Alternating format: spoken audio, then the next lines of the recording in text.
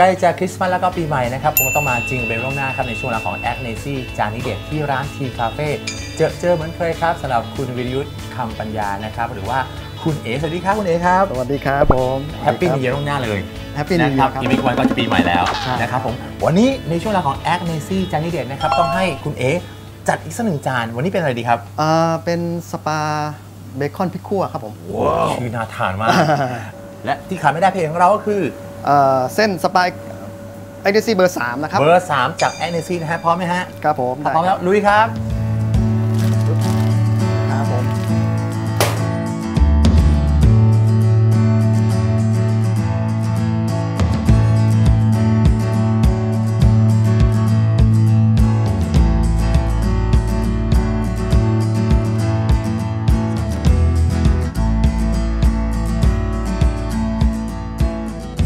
พร้อมเสิร์ฟนะครับสปาเกตตี้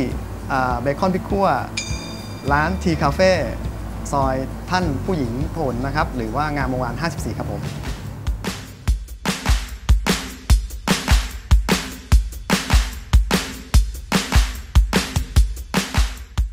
ต้องบอกว่าร้านนี้เหมาะมากกับการที่จะมาแบบ jingle bell หรือว่าฉลองปีใหม่นะฮะผมขอชิมนะฮะกับครับผมสปาเกตตี้เบคอนพริกคั่วครับ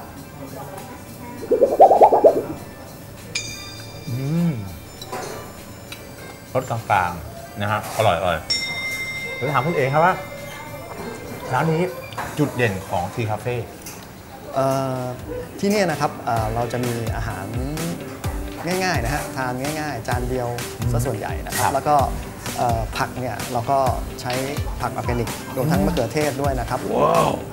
ร้านนี้เหมาะกับทั้งครอบครัวก็ได้หรือว่ากับคนพิเศษก็ได้ ใช่ครับ เพราะว่าเราตั้งใจว่าอาหารที่ทำเนี่ยก็เหมือน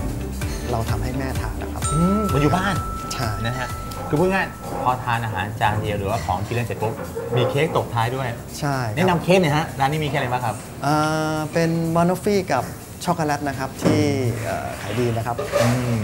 แล้วก็มีสโคนก็อร่อยนะครับ กับบราวนี่นะครับแอบเห็นอยู่เหมือนกันรวมถึงเครื่องดื่มก็มีชิลๆเหมือนกันฮะกาแฟเราอร่อยนะครับ กาแฟอร่อยใช่ไหมใช่ครับ จากที่ไหนนะครับผมเอ่อแม่แจ่มครับ แม่แจ่มนะฮะรับรองว่าถ้ามาร้านนี้แจ่มทุกจาน โดยเฉพาะที่ร้านทีคาเฟ่นะครับ ใครจะมาในโอกาสพิเศษนะครับ จะคริสต์มาส จะปีใหม่ หรืออาจจะเป็นในเรื่องของ anniversary ครับร้านนี้เป็นทางเลือกที่คุณต้องเลือกครับกับร้านทีคาเฟ่อยู่ซอยงามวงวาน54 หรือว่าซอยท่านผู้หญิงผลนะครับ ผมต้องขอบคุณสำหรับคุณเอ๋อีกครั้งหนึงนะครับขอบแฮปคุปี้ณดีครับผมนะครับสวัสดีครัดีบครับสวัสดีครับก็บอกคุ้มค่ามากนะฮะกับการนั่งรถขึ้นมาบนจุดนี้นะฮะเป็นวิวพอยต์ครับเราเห็นโดยรอบนะครับของเมืองแคนดี้ครับอื้อหือ ผมว่ามันมันคุ้มค่ากับการเดินทางมากครับ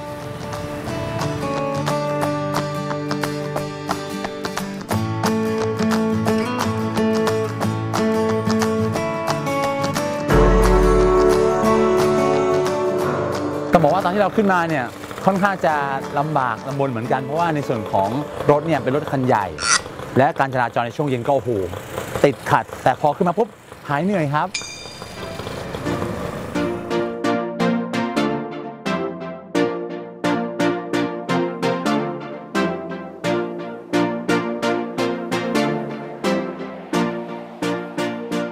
และที่ขาดไม่ได้ฮะต้องมีหนึ่งไกด์ที่จะให้ข้อมูลกับเรานะครับ ไม่ใช่ใครอื่นครับพี่สุภาหรือว่าพี่ปาสวัสดีครับพี่ปาสวัสดีค่ะเป็นไกด์ประจำของทางอ๋อ PNK ด้วยโอเคค่นะฮะใช่ค่ะไกลๆนั่นคือนั่นคือวัดพระเขี้ยวแก้วนะคะที่เราเห็นไกลๆนั่นหลังคาสีทองทองอ๋อๆค่ะภายในเนี่ยคือจะบรรจุปฏิฐานพระเขี้ยวแก้วครับาหรือว่าฟัน ฟันค่ะทางด้านซ้ายด้านล่างฟันครับ ล่างของพุทธเจ้าค่ะ ซึ่งต้องบอกว่าในโลกนี้มีกี่ที่ครับพี่มีสองที่สองที่อีกที่หนึ่งอยู่ที่ประเทศจีนค่ะ เมือง เมืองเอ่ออยู่ทางด้านตอนเหนือค่ะอ๋อ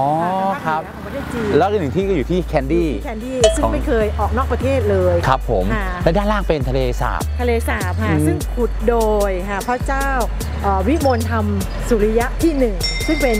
กษัตริย์องค์แรกของเมืองแคนดี้นี้อื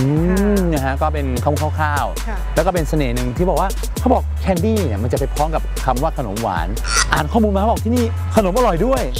ใช่ค่ะก็มีขนมหลายชนิดแต่จริงๆแล้วเนี่ยคำคำว่าแคนดี้เนี่ยแปลว่าเนินดินเออแปลว่าเนินดินนะอืมแต่ว่าชื่อเมืองเต็มๆของเมืองนี้คือเมืองสิริวัฒนานครโอ้คือชื่อเมืองหลวงครับอ่าค่ะแต่ว่าคำว่า แคนดี้เนี่ยคือเนินดินครับผมแต่ว่านะฮะ มันคล้ายๆชื่อขนมใช่ไหมคะเออเดี๋ยวเราคงได้ติดตามในเรื่องของเสน่ห์ของเมืองแคนดี้อีกเยอะเลย ใช่ เดี๋ยวสักครู่หนึ่งเราจะไปดูในเรื่องของระบำใช่ไหมพี่ ใช่ใช่ระบำพื้นเมืองค่ะ สุดยอดเลยค่ะ พี่ปาจะเต้นด้วยไหมฮะอ๋อเดี๋ยวดูกันครับคุณผู้ชมเออโอเคค่ะ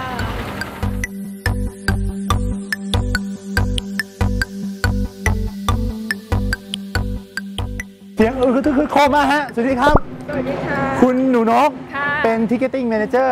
ของทาง P&K ดีไซน์ค่ะ ด้านในมีอะไรครับ เป็นโรงละครนะคะ เป็นการแสดงพื้นเมืองของชาวศรีลังกานะคะ อืม เรียกว่า Candy Dance ค่ะ Candy Dance ใช่ค่ะ แล้วชุดเปลี่ยนยังครับ ยังเลยค่ะจะมันจะไปเปลี่ยนนะคะเราชมด้านในเลยค่ะ